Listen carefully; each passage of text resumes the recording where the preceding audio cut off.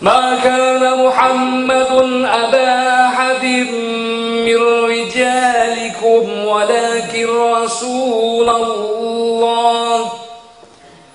ولكن رسول الله وخاتم النبيين.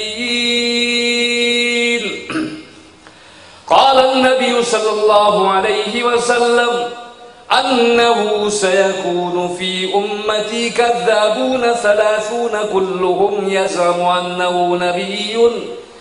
وأنا خاتم النبيين لا نبي بعدي.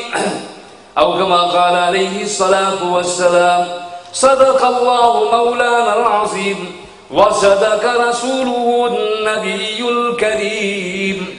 ونحن على ذلك من الشاهدين. والشاكرين والحمد لله رب العالمين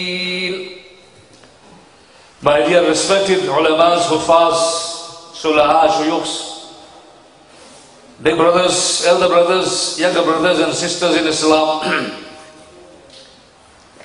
Once more Allah subhanahu wa ta'ala, the Almighty gave us an opportunity to come here and listen and safeguard the aqidah of the Khatm al-Nubuwa for the sake of the Prophet sallallahu alaihi wasallam.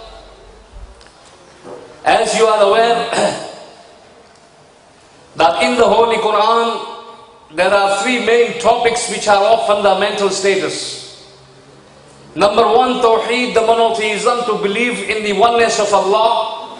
Number two, the Risala, the prophethood, the messengership. And number three, to have faith and belief in the life after death.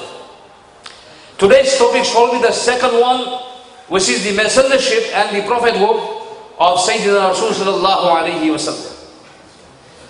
This belief of ours of the Khatm al-Nubuwah is like the backbone in the back. If it's crippled, then all of you is crippled.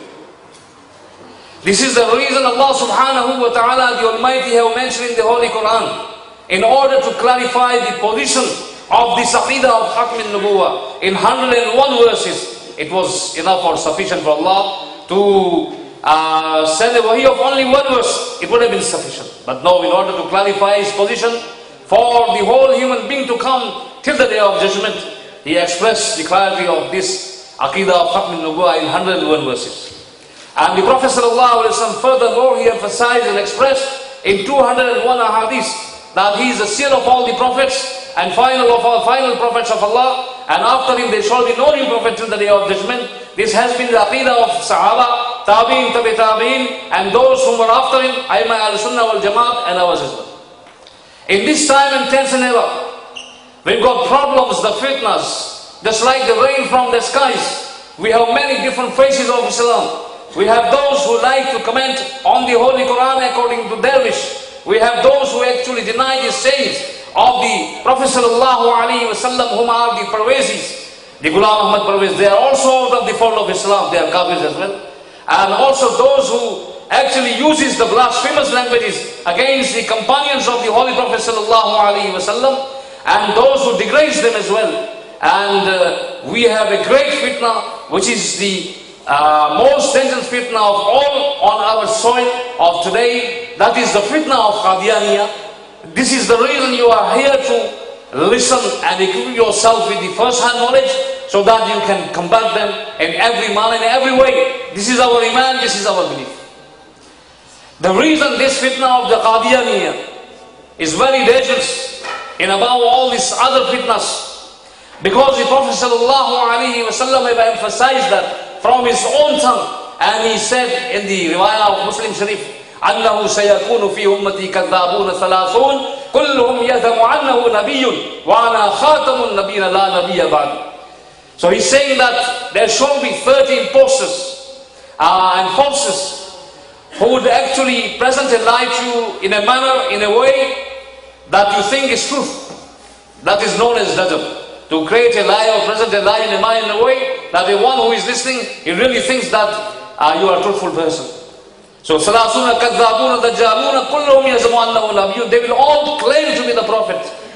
So if there were any prophets to come after him, then the Prophet ﷺ would have mentioned that okay, follow the one who is the truthful prophet and be away from these false prophets. Yeah.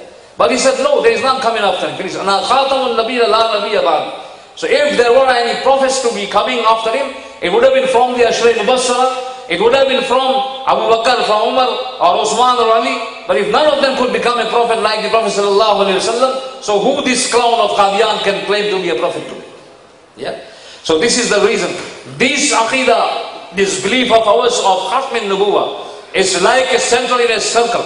If the uh, circle which is formed around a center is whole of the Islam, then the center of the circle is the belief of this aqidah of Khatm Nubuwa. Yeah? If you have two centers in a circle, then of course the circle will deviate. So we are more than 1400 years old. They are only 100 years old. We have no space for a new prophecy, for a new prophet who is false, who is a liar, who calls himself to be Allah, who calls him to be a Messiah, who calls himself to be everything, Mahdi and this and that. No, he is the clown of Qadian, he is the greatest liar of all the liars. Yeah? So we have no space for him in our circle and in the, within that circle we have a center and it's enough till the whole of day of judgment. Yeah. So this is the reason Allah subhanahu wa ta'ala the Almighty have mentioned in the Holy Quran وَإِن تَعُودُوا نَعْمَةَ اللَّهِ لَا تُحْصُوهَا so Allah subhanahu wa ta'ala the Almighty have bestowed us the human beings why are those names the gifts which are obvious and those which are internal gifts.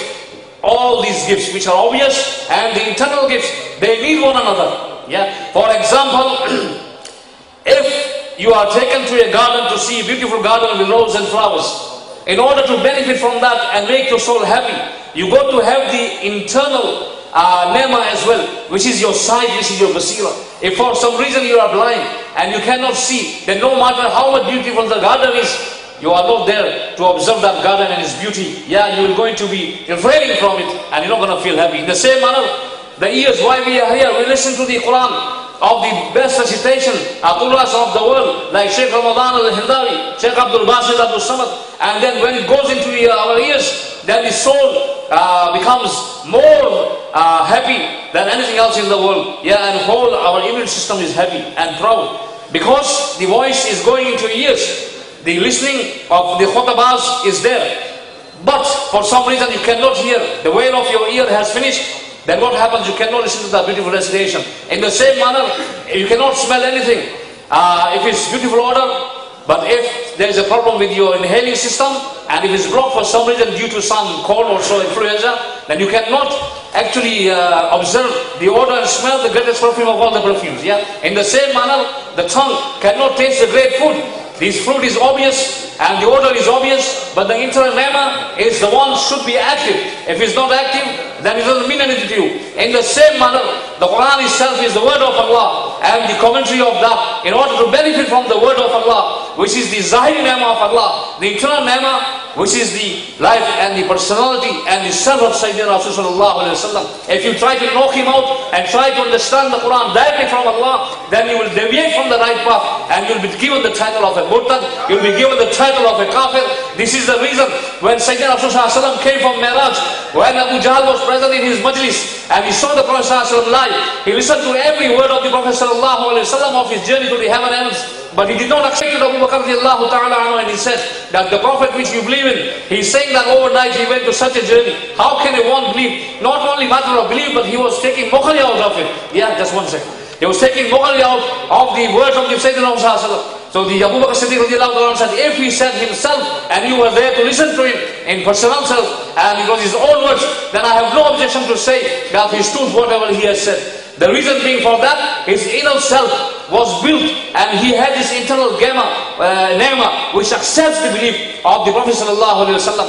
And Zabu Jahl lost that because of him being severe with the Muslim, severe with the um, people of the Iman. So this is when Allah subhanahu wa ta'ala taken away this internal gift of acceptance which is known as the iman khatam Allahu ala qulubihim wa ala sam'ihim wa ala which means on the day of judgment this Qadiani cannot say that, oh Allah, you did not give me the internal basira, so I did not accept the Prophet as him being the last and the final Prophet of Allah. It will be rejected because Khatam Allahu ala ala means that a seal can be only given when there was something inside before. If there was nothing inside, nobody seals it, which means that he was given this gift as well, but he, Allah removed it and he lost it because of him being very severe with the Muslims, very severe with those who are believers in the Prophet ﷺ, very severe with those who are believing the monotheism of Allah, very severe with those who are following the footsteps of Sayyidina ﷺ. So in the same manner, this Qadiani has deviated from the right path because he did not have the intellect service, uh, the sifa, the quality.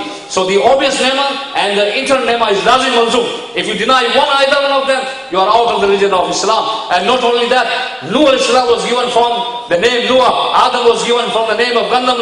Yeah? But when the time came to give the name to the Prophet ﷺ, he gave him the name Muhammad. Muhammad means Alladhi ujmiyat fihi khashalam mahmuda. And Allah subhanahu wa ta'ala is He's saying himself, even after giving his name, giving him this name, I am saying Alhamdulillah.